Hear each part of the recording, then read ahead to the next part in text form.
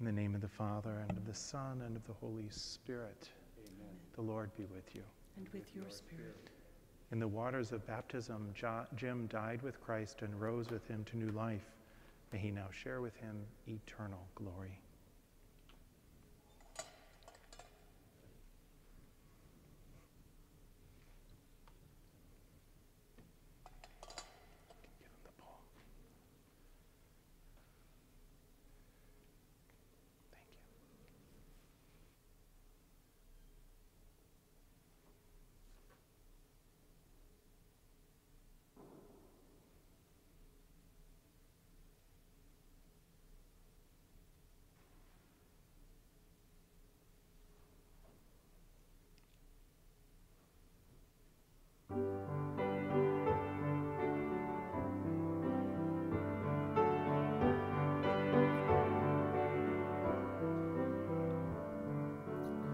I will come to you in the silence.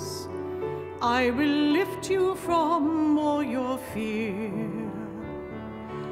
You will hear my voice. I proclaim you as my choice.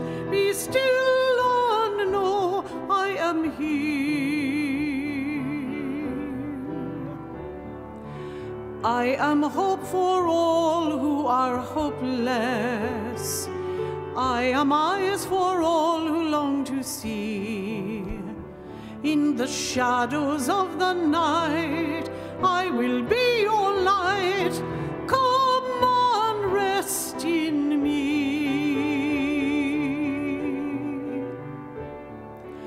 Do not be afraid, I am with you.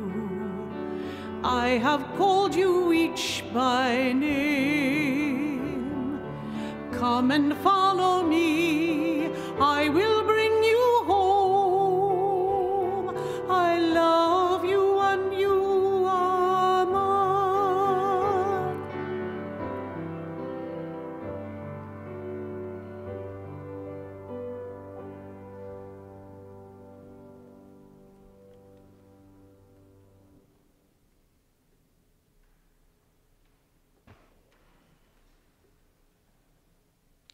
let us pray. O God, Almighty Father, our faith professes that your Son died and rose again. Mercifully grant that through this mystery, your servant Jim, who has fallen asleep in Christ, may rejoice to rise again through him, who lives and reigns with you in the unity of the Holy Spirit, one God, forever and ever. Amen. I'd like to invite Gwen forward to offer the first reading.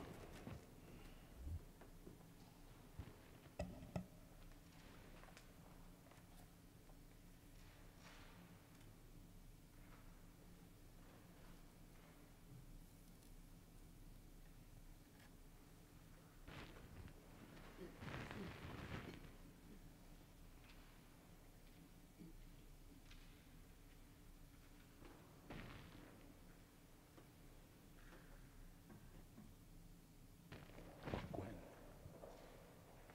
Gwen. You, you both.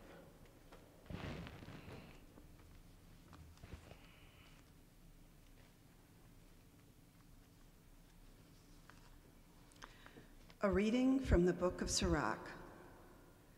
For the Lord honors the father above his children, and he confirms a mother's right over her children. Those who honor their father atone for sins, and those who respect their mother are like those who lay up treasure. Those who honor their father will have joy in their own children. And when they pray, they will be heard. Those who respect their father will have long life. And those who honor their mother obey the Lord. My child, help your father in his old age. Do not grieve him as long as he lives. Even if, he, even if his mind fails, be patient with him. Because you have all your faculties, do not despise him. For kindness to a father will not be forgotten and will be credited to you against your sins. The word of the Lord. Thanks, Thanks be, be, to God. God.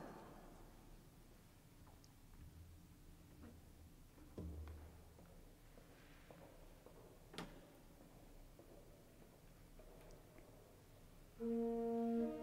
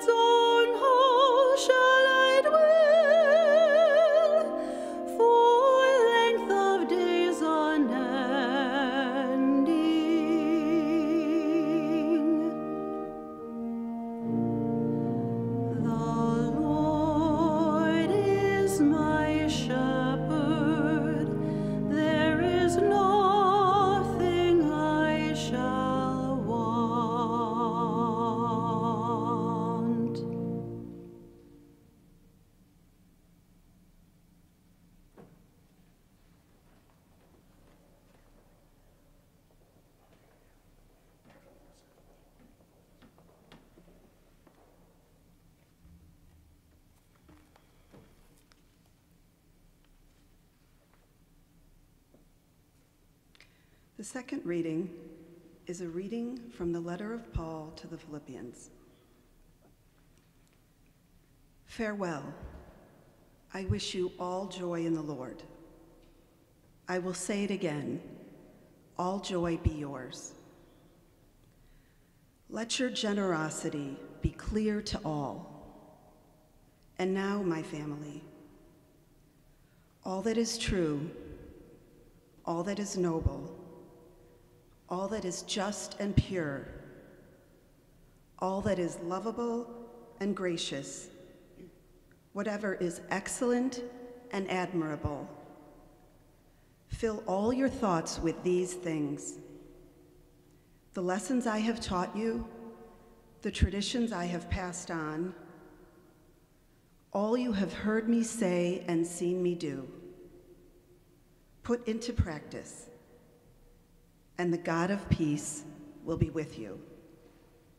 The word of the Lord. Thanks, be, to God. The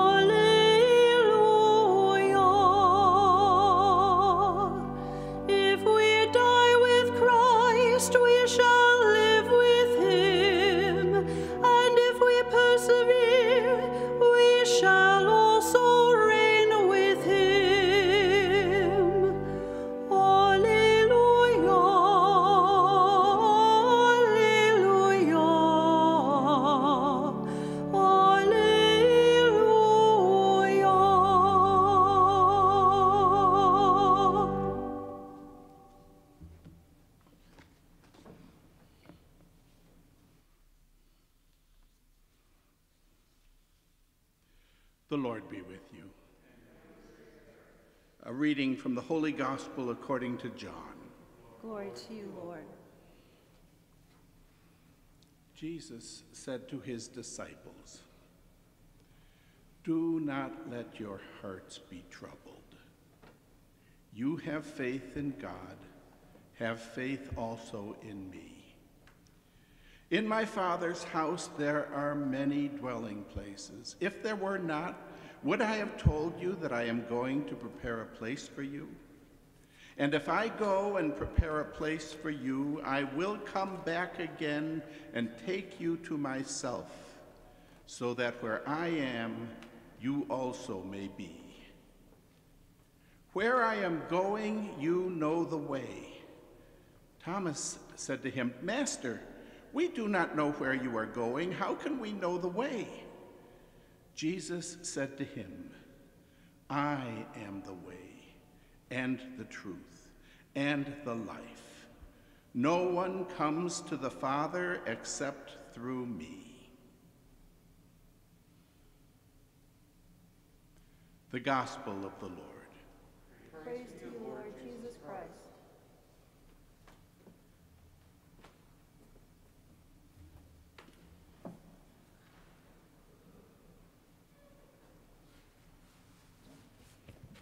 Okay.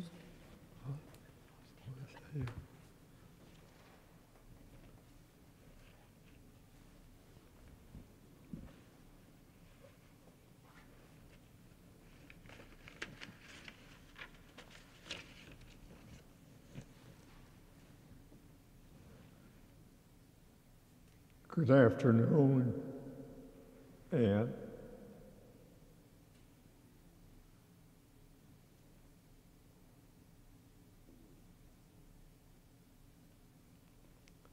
It is good for you and your family to be here in the church you attended, have attended, are attending for a good long time.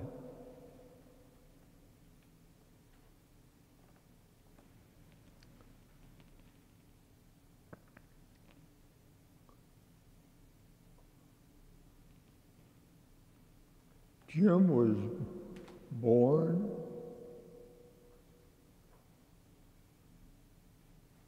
same year I was.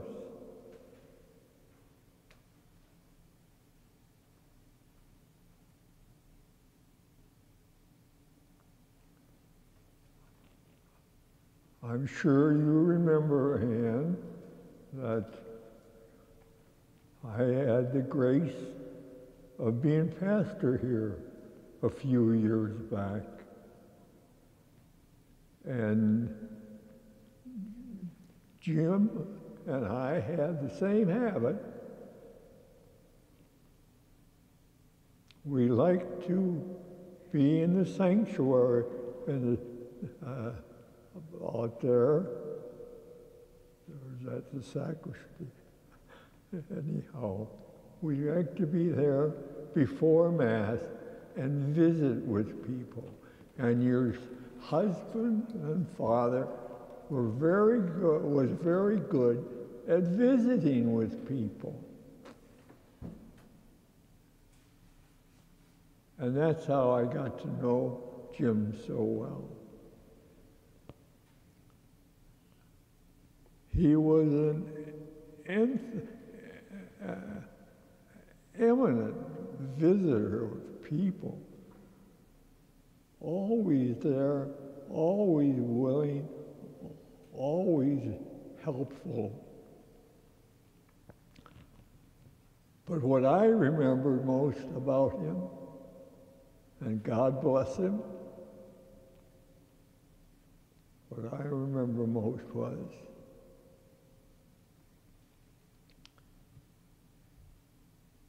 he was an excellent Catholic. He had the faith, and he didn't mind manifesting his faith. An extraordinary man. Wonderful education. Started out in grammar school. With, with the grade school in, jo- in Chicago of Angela. He went to St. Uh, in in uh,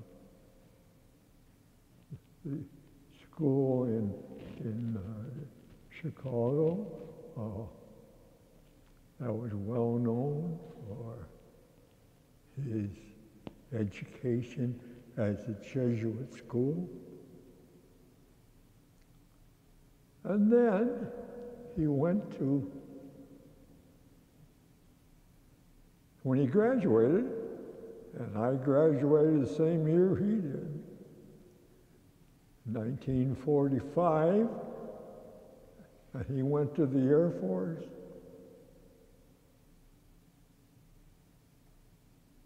And then he went to law school.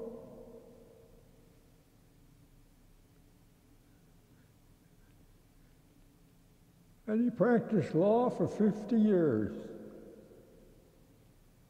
The man had a history. And that's something for you, young people, to think about. He had a powerful work order. And he had a powerful personality. And so today we bring him back to the Lord. And he had a tremendous personality in coming back to the Lord. I kind of think it was a mutual welcome.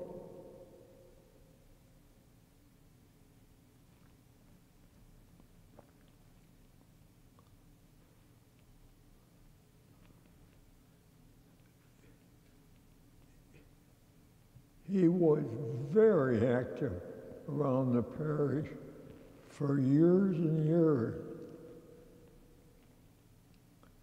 Daily Mass, beautiful.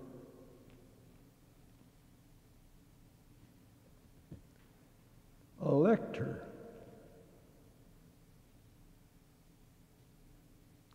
A Eucharistic minister.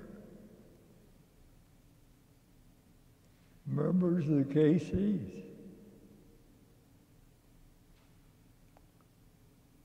He helped organize uh, a St. Patrick's Day group and was proud of it.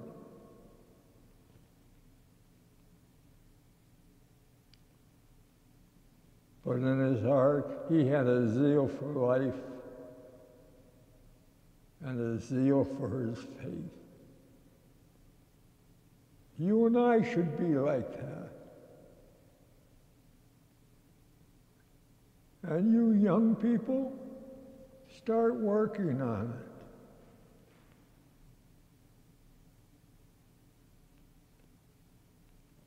You have a lot of examples in that same pew.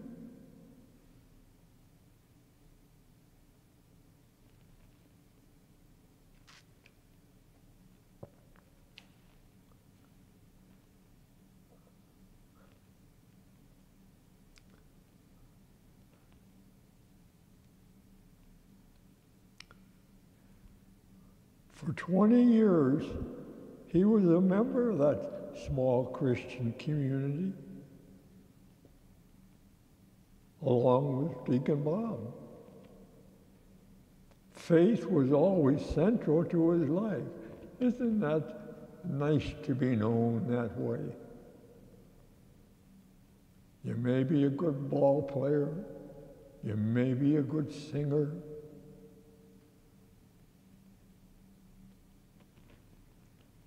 But if I had the choice,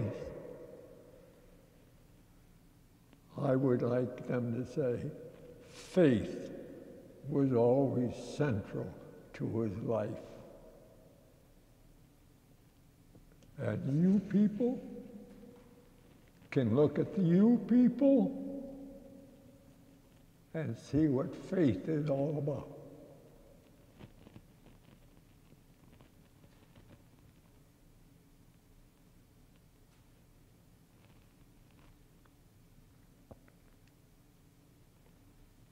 What I want to mention today is he absolutely loved his wife Anne.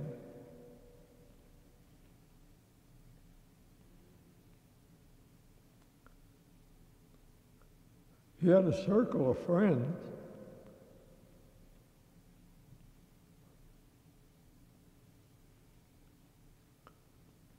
You couldn't ask, I'm told, couldn't ask for a better father.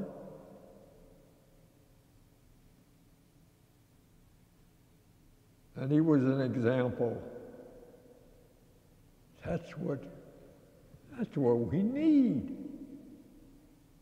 Example of our parents or grandparents.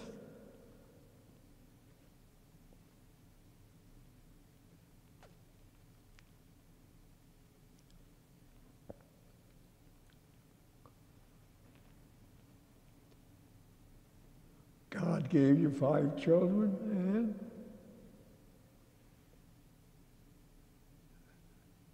I understand. You know something? I have the same problem.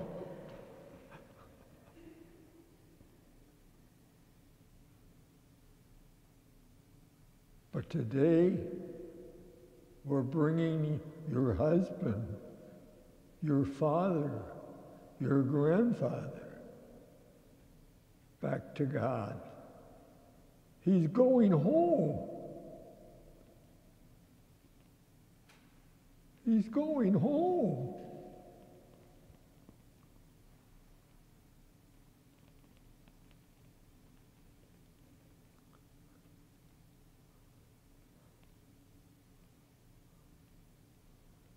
But there's just really one more thing I would like to say.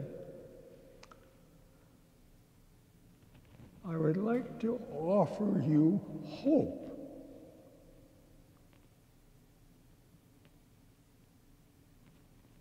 That's what we need. And I offer to you hope. You struggle, and to get to that second pew, and you did it beautifully.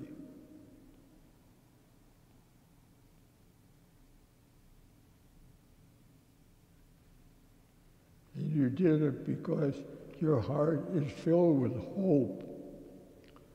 There's hope in your heart today. How many years of wedded life?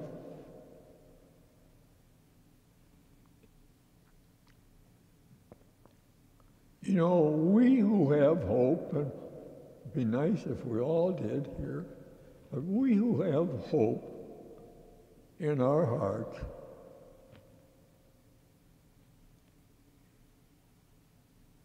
are just a little different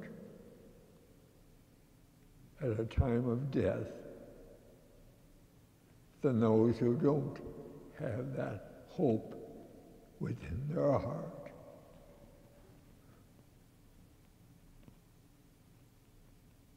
And I offer you, old timers,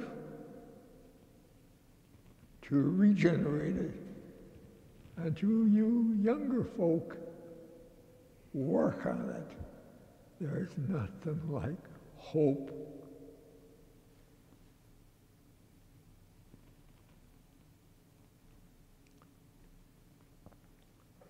You know,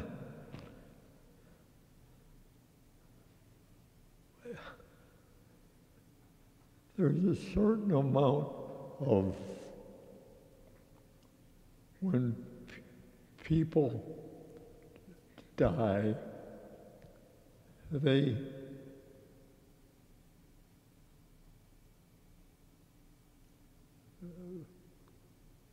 get in touch through their family.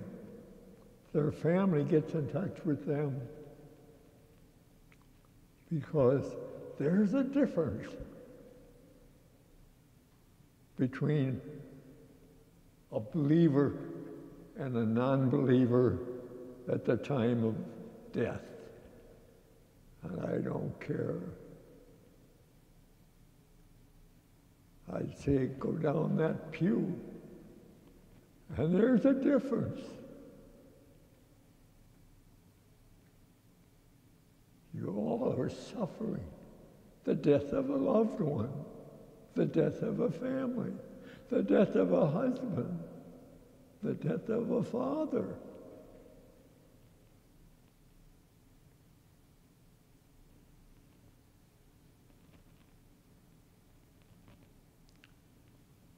But when you have hope, it's different. And that's what I'm calling upon today. For you, to God. You know, the Lord Jesus right there on the wall behind us. And did you hear what he the, the lector read? No one comes to the Father except through me.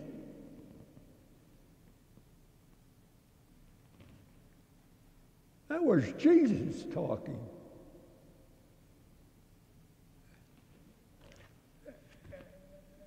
And that's who we're talking about.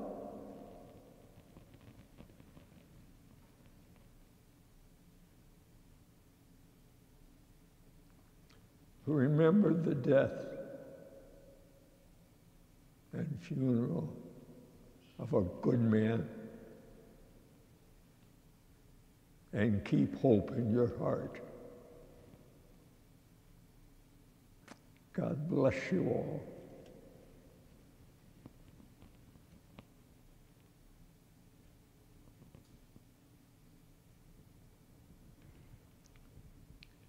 Us stand together now and offer our prayers and petitions to our loving Father in heaven.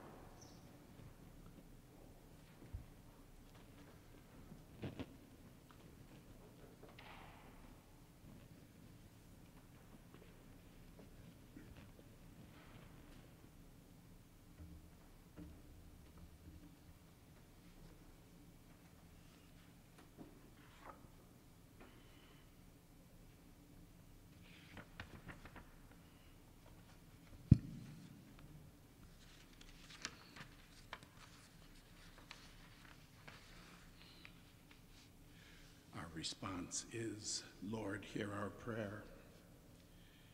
In baptism, Jim received the light of Christ. Scatter the darkness now and lead him over the waters of death. We pray to the Lord. Lord, hear our prayer. Our brother Jim, who faithfully served as an extraordinary minister of, of Holy Communion, was nourished at the table of the Savior. Many, many, many times he brought the comfort and consolation of Holy Communion to those confined to long term care facilities, and he did it lovingly. Welcome him, O Lord, into the halls of the heavenly banquet. We pray to the Lord. Lord, hear our prayer.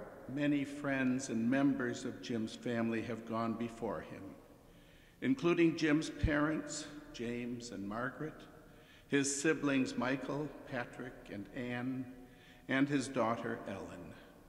Grant them an everlasting home with your Son, we pray to the Lord. Lord, hear our prayer. Many have been afflicted by COVID 19.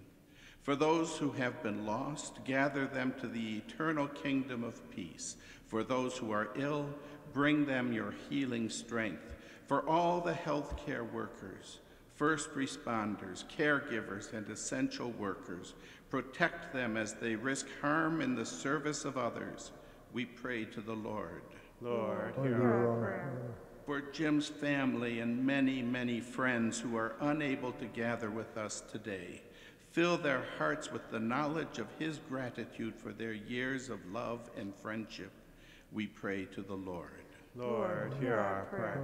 We are assembled here in faith and confidence to pray for our brother Jim. Strengthen our hope so that we may live in the expectation of your son's coming. We pray to the Lord. Lord, hear our prayer. Heavenly Father, we ask you grant all these prayers through Christ our Lord. Amen. You may be seated.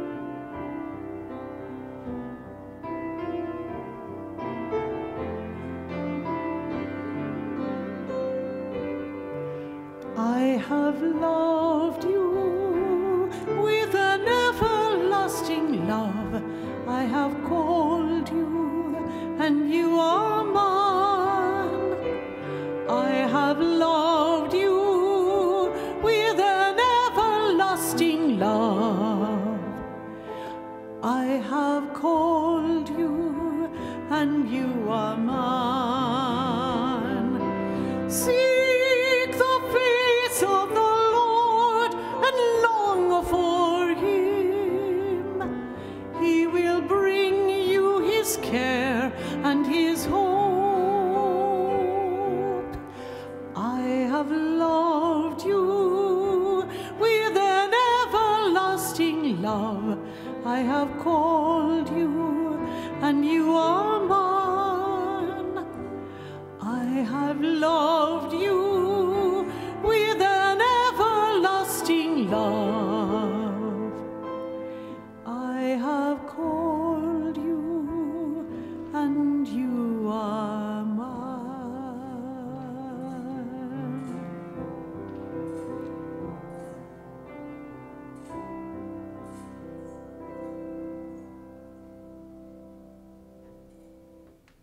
brethren, that my sacrifice and yours may be acceptable to God, the Almighty Father.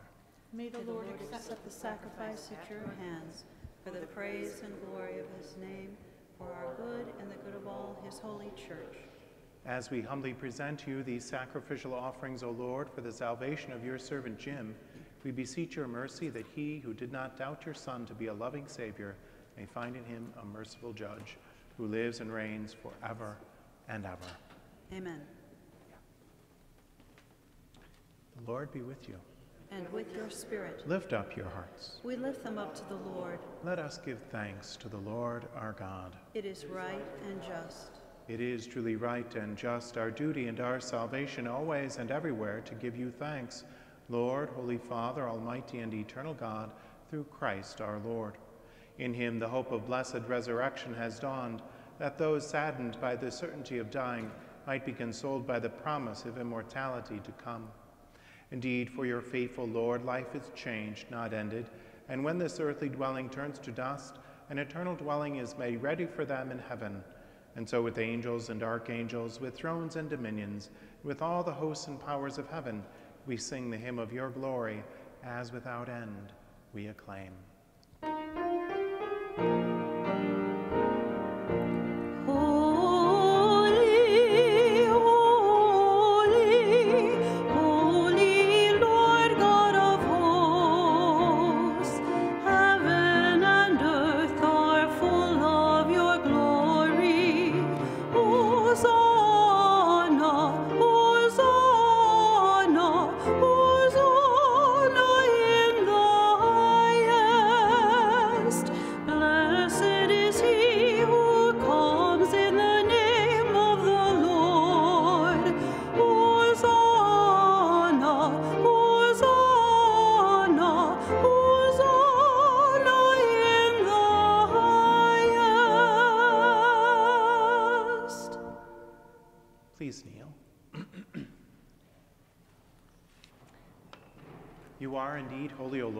Fount of all holiness.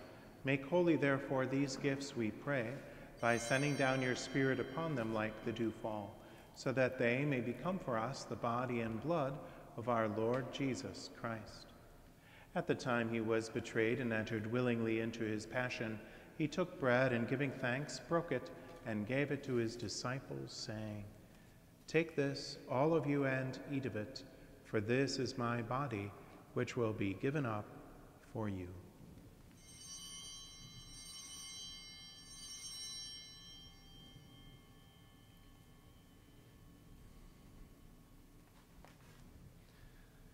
In a similar way, when supper was ended, he took the chalice, and once more giving thanks, he gave it to his disciples, saying, Take this, all of you, and drink from it, for this is the chalice of my blood, the blood of the new and eternal covenant, which will be poured out for you and for many for the forgiveness of sins. Do this in memory of me.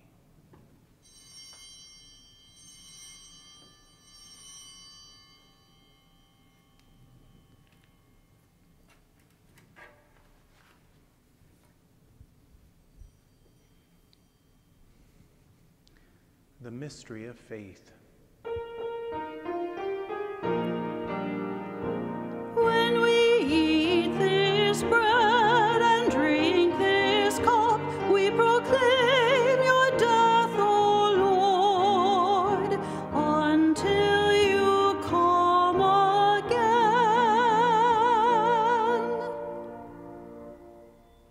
As we celebrate the memorial of his death and resurrection, we offer you, Lord, the bread of life and the chalice of salvation, giving thanks that you have held us worthy to be in your presence and minister to you.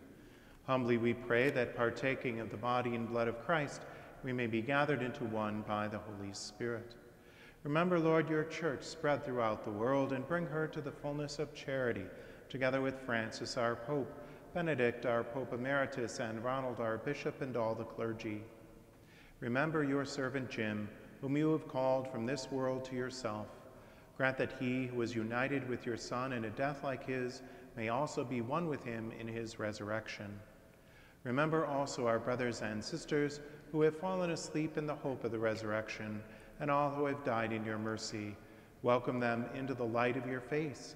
Have mercy on us all, we pray, that with the Blessed Virgin Mary, Mother of God, with blessed Joseph, her spouse, with the blessed apostles and all the saints who have pleased you throughout the ages, we may merit to be co heirs to eternal life and may praise and glorify you through your Son, Jesus Christ.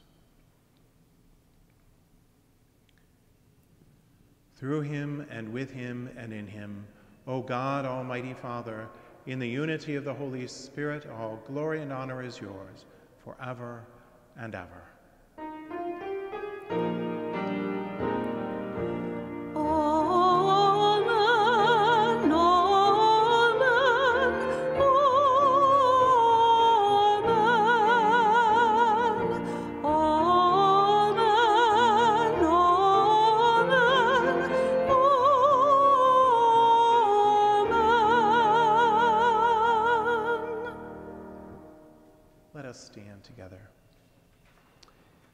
At the Savior's command, informed by divine teaching, we dare to say, Our, Our Father, who art in heaven, hallowed be thy name. Thy kingdom come, thy will be done, on earth as it is in heaven. Give us this day our daily bread, and forgive us our trespasses, as we forgive those who trespass against us. And lead us not into temptation, but deliver us from evil. Deliver us, Lord, we pray, from every evil. Graciously grant peace in our days, that by the help of your mercy we may be always free from sin and safe from all distress, as we wait the blessed hope and the coming of our Savior, Jesus Christ. For the kingdom, the power, and the glory are yours, now and forever. Lord Jesus Christ, who said to your apostles, Peace I leave you, my peace I give you, look not on our sins, but on the faith of your church, and graciously grant her peace and unity in accordance with your will, who live and reign forever and ever. Amen. The peace of the Lord be with you always. And with your spirit. Let us offer one another some sign of Christ's peace.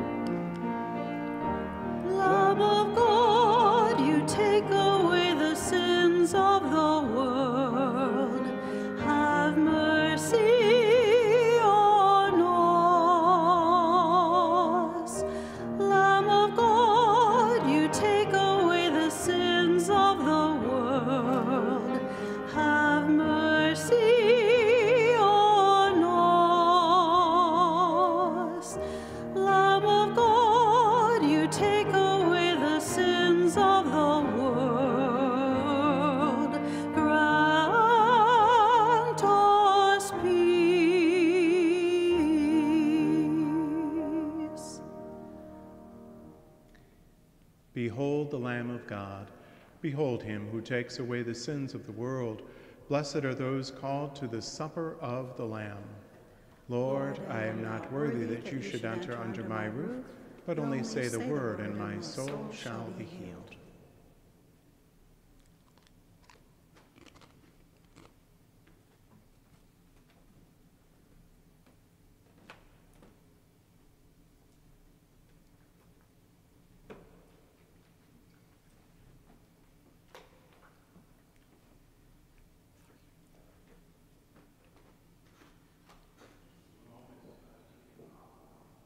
Distribute communion, um, the, the way we do this is we'd ask that as you come out of the pew, if you could please sanitize your hands, and then Deacon Bob will distribute communion in the hand.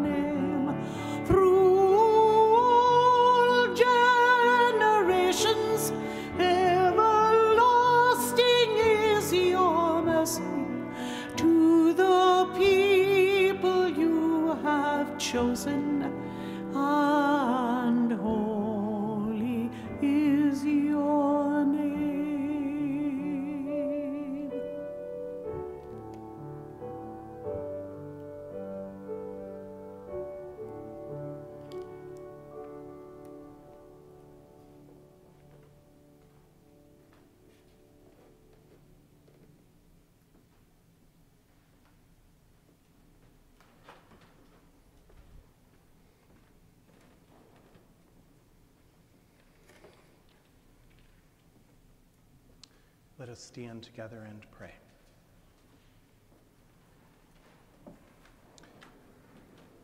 Lord God, whose Son left us in the sacrament of his body food for the journey, mercifully grant that, strengthened by it, our brother Jim may come to the eternal table of Christ, who lives and reigns forever and ever. Amen. I'd like to invite you all to be seated for a moment and I'd like to invite Patrick forward to offer his reflections.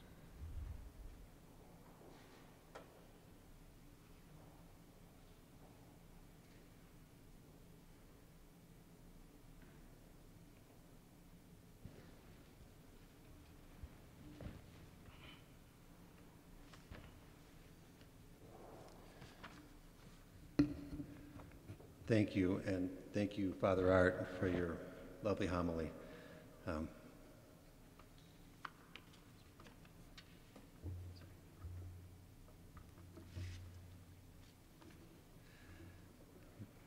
my mom is weary, and I think the hearing is poor, but we will play it back for her on 11 afterwards so she can appreciate all the kind things that you said about my dad, and, and your comments on faith and hope are certainly uh, taken to heart. My dad always spoke very highly of you, and I know he thought of you as a friend as well as a pastor. I'll start by saying that I asked Gwen to give Dad's eulogy, since all the male members of our family can hold forth for hours at a time on science and music, literature and recreation and politics, but the moment we begin to talk about our families, the tears start flowing and we're utterly useless. So bear with me if the Irish disease, as we call it, makes me pause. I put off writing these words as long as I could, partially because that's a family tradition, but mostly because I worried that I couldn't do justice to the many qualities that we loved and valued about Dad. As young children in Glen Ellyn, we walked outside on dark summer nights, we would see the fireflies flashing in and out of view and defying our attempts to catch and hold them. And I felt the same inability to catch wonder in a bottle as I tried to capture Dad's character and spirit in a few lines. Thankfully, all of you have a personal universe of memories of Dad, and I'm sure that holds true for most of us most of those joining us online or viewing this later. So I will start by giving thanks to God. We are sad to lay Dad to rest, but above all, we are grateful. Grateful as his children and wife to have known that we were loved so deeply and completely. Grateful that we were gifted with a parent, a spouse, and a friend who brought such joy, such humor, and such consistent Christian faith, humility, ingrained ethics, and a love for life and all of those around him. And grateful, of course, that God granted us the gift of his company for so many years.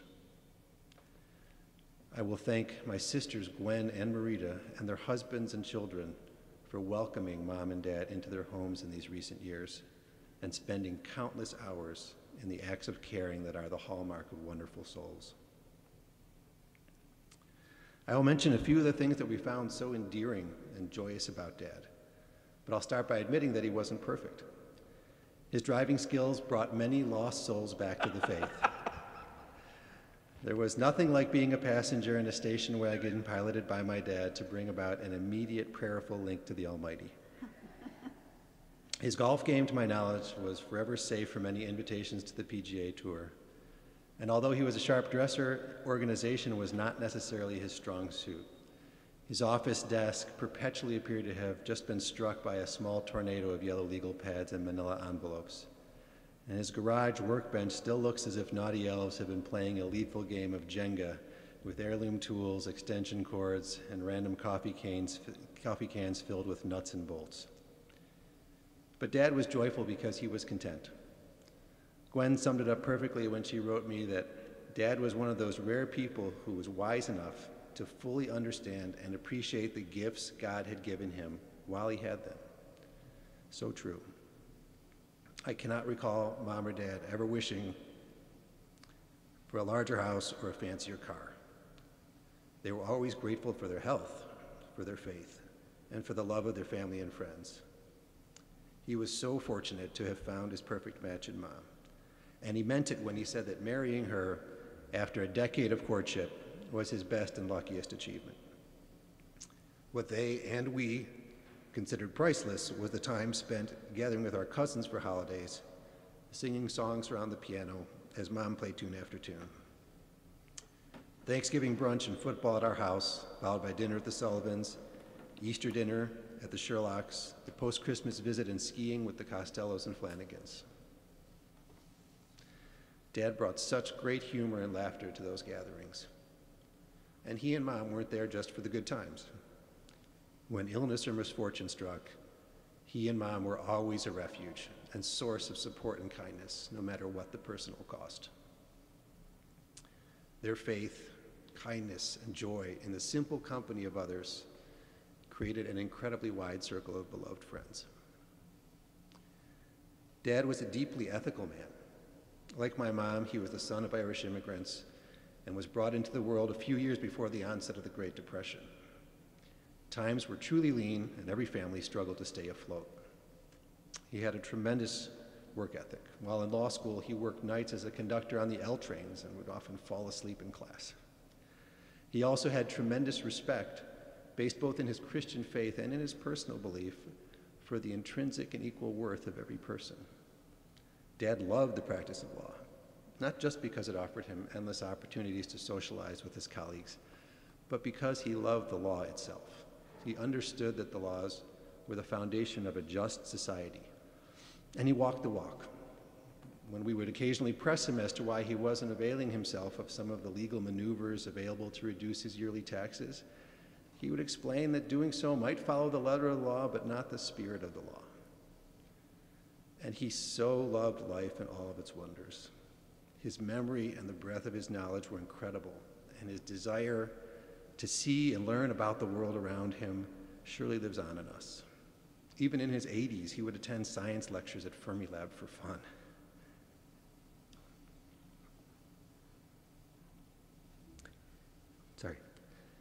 He taught us how to sail. To, excuse me. Surely there's a medication for this. he taught us how to sail and how to fish and how to ski. I can still remember following him on his last run down Aspen Mountain in his mid 70s. His affinity for the most unusual of foods was legendary. He loved the arts and the theater and was an absolute treasure trove of songs and poetry. Most of all, he loved to share those discoveries and things of beauty with others. We were so fortunate to have him trekking us around the U.S. on our family vacations. The journey was always as fun and as interesting as the destination. His faith was inseparable from the man that he was. He and mom never lectured us on faith. It simply wasn't necessary. Pardon me. They provided the daily example of how to live a life of faith and fidelity. Dad loved being able to serve others and contributed to the parish community in so many ways. Into his 90s, he was still serving as an extraordinary minister of the Eucharist, bringing communion to those who could not attend Mass due to their age or illness. I learned later that he would offer to sing one of the church hymns with those who were shut in, so they could feel a little more of the church experience. Of course, he did.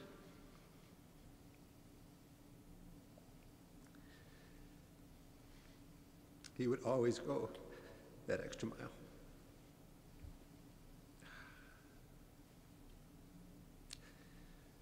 But now the fisher of men has called home his fishermen.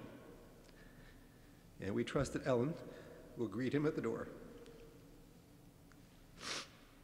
Thank you, Lord, for his company. Grant him peace and joy beyond imagining. And with your mercy and grace, lead us home to you in our time. Thank you.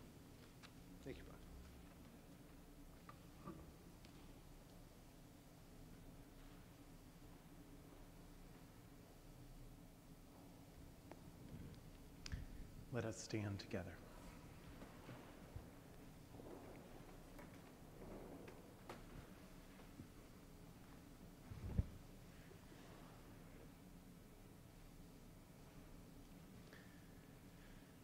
Before we go our separate ways, let us take leave of our brother Jim. May our farewell express our affection for him, ease our sadness, and strengthen our hope. One day we shall joyfully greet him again when the love of Christ conquers all things and destroys even death.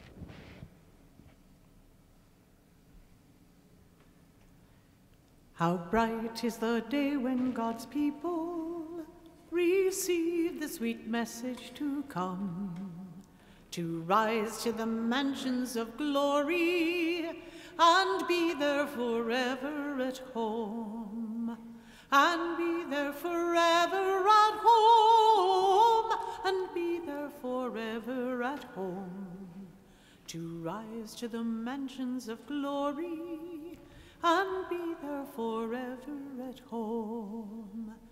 The angels stand ready and waiting the moment the Spirit is free. They gather him upward to heaven to be there forever with thee. To be there forever with thee. To be there forever with thee. They gather him upward to heaven to be there forever with thee. Now the saints that have gone up before us They all raise a new shout as he comes. They sing hallelujah the louder and welcome the traveler home. And welcome the traveler home. And welcome the traveler home. They sing hallelujah the louder and welcome the traveler home. Into your hands, Father of mercies, we commend our brother Jim in the sure and certain hope that together with all who have died in Christ, he will rise with him on the last day. We give you thanks for the blessings which you bestowed upon him in this life. They are signs to us of your goodness and of our fellowship with the saints in Christ. Merciful Lord, turn toward us and listen to our prayers.